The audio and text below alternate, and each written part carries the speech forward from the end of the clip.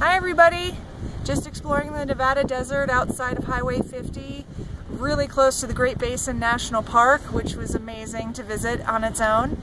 Um, we went to see the bristlecone pines and um, on our way back we passed this humongous valley on BLM land um, that has these incredible windmills and these things are massive.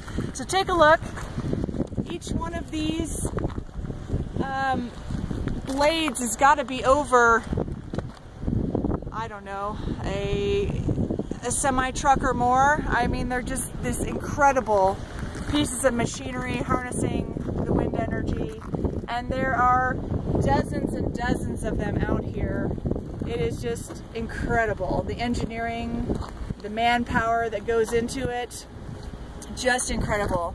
And uh, we'll take a walk around the base so you can kind of get an idea of how big these things are. And we were able to walk up on them, no problem.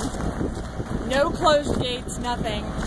So it's just very spectacular to see.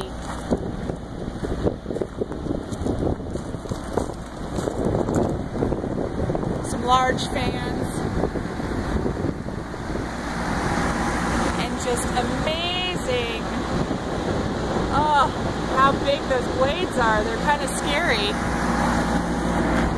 But yes, alternative energy is awesome. Thanks for watching.